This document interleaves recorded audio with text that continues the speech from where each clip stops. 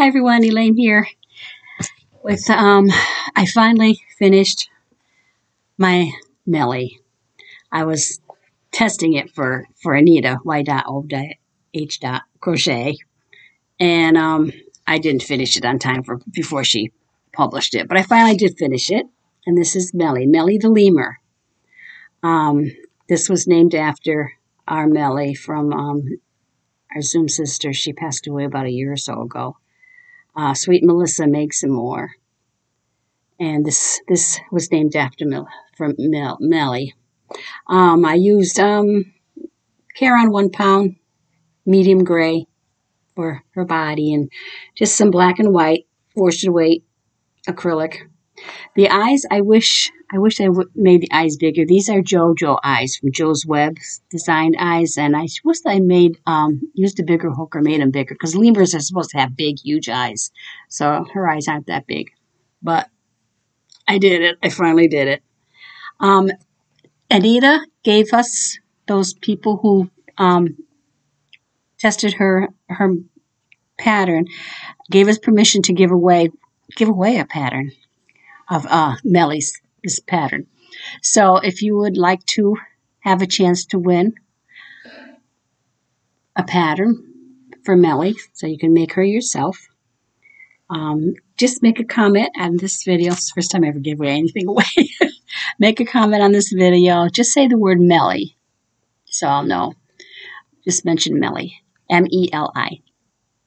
And um, I'll pick a, a winner next next Thursday. Thursday will be the um, will be uh, I, will post an, a video next Thursday because Thursday is also luck of the draw has started again. Um, Momma Swift is hosting Luck of the Draw. This was Nan's um, idea, 2020, um, somewhere around there.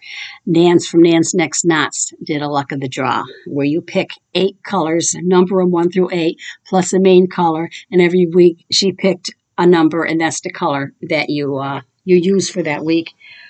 You do like three rows of main color, three rows of the color that she picked, and then three rows of main, and then you wait till next Thursday. She picks another number, so on and so on. Um, usually it was 20 weeks. This week is going to be 10 weeks this time because Tr- Trisha's doing a boggy style. So um, 10 weeks should be enough to make a boggy style size blanket. Uh, the colors that I'm using, this is uh, Caron one pound and faded brick, and that's going to be my main color. Unfortunately, I'm going to have to pull this out and do it over again. This is going to be Trisha's, also Trisha's. I'm doing Trisha's um, blanket, uh, textured cabin blanket, her pattern. She, if you want the written pattern, email her get a hold of her. She'll send it to you. It's free. And also, Juan, the yarn addict, did a tutorial on the blanket, and it's it's very easy. It's two row repeat, so it's very short tutorial. So you know, you know, it's not a whole hour long tutorial. Um, he explained it very well, and it's a two row repeat. But when I measured it, when I did the first chain or loop, whatever, the first chain row, it came out to a little less. Well, I had 40 inches. I took off another loop because I wanted a little less than 40 inches to give it a little bit room to grow. So I did, uh, after I did the first row here, and then I measured it again, it's come up to 42 inches. Mine grew. Lynette from um, Charmed Grammys, hers grew a lot. Hers grew to, I don't know, she was, I can't remember what her starting chain was, how long it was, but it grew to 46 inches. So I'm going to take it out, and um, it's you know it, it's got to be between 35 to 40 inches. So if I just went to 36 or 37, that probably would have been plenty, and it would give it time to grow. So in case you want to do this blanket, maybe 36 inches start with, and then it might, if it grows, it'll grow to 40 inches, and then it'll be okay. If it grows to 40, it'll still be within the parameters. So this is the main color. Um, I also picked for my colors teal, orange,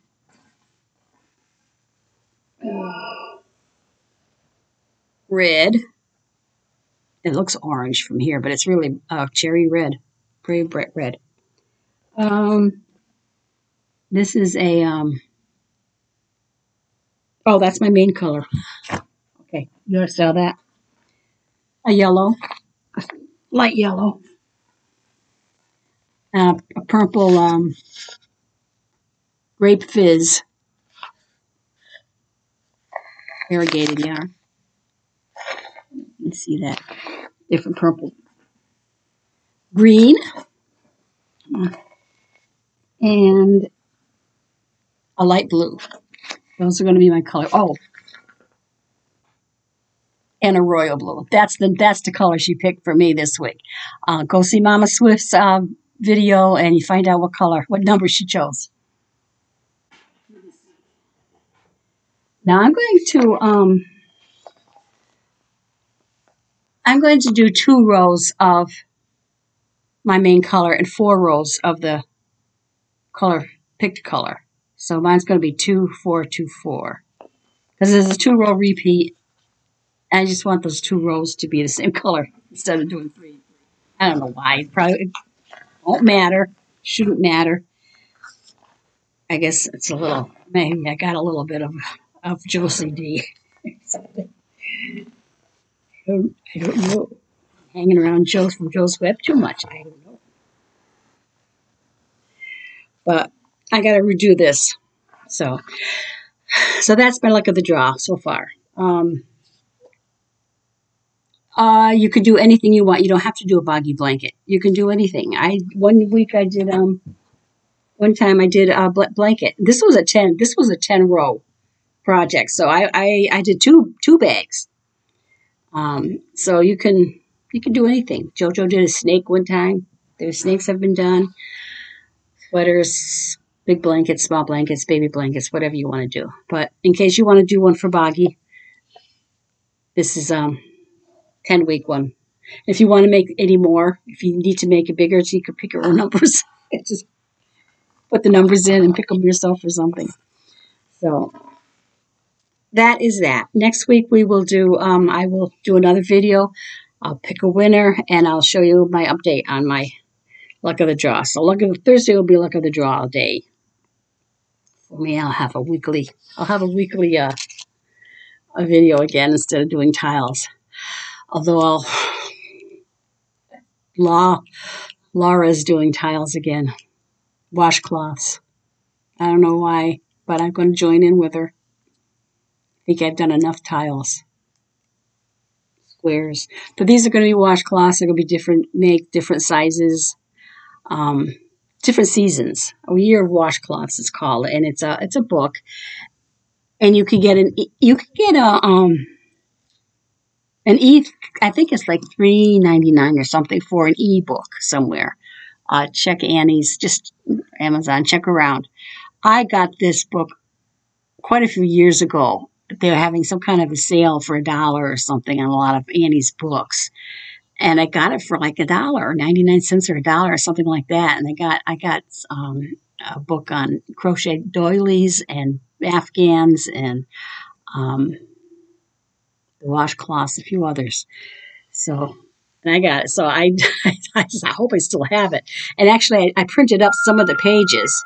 And I found those pages, and I actually did a washcloth too. I did the Christmas tree washcloth. They're, they're kind of small, at least the Christmas tree one was. So they'd probably be really neat for kids. Actually, they're they're cute. They're really cute. Be a kid wash them They'd have fun using those. Get them to wash. Um, so I dug it. I went on my computer and I looked and I found it. So I I trans put it on a stick and transferred it to my laptop. So I got it on my laptop so I can I can do those silly washcloths every week. So watch out for that. That'll be on Mad Mimi's Mad Mimi's Crochet and Farming channel. That's going to be starting sometime in mid September, 14th or something. It's going to be on a Wednesday. So I think. So that is it for now. I will see you next Thursday and have a good week and thank you all for watching. Bye.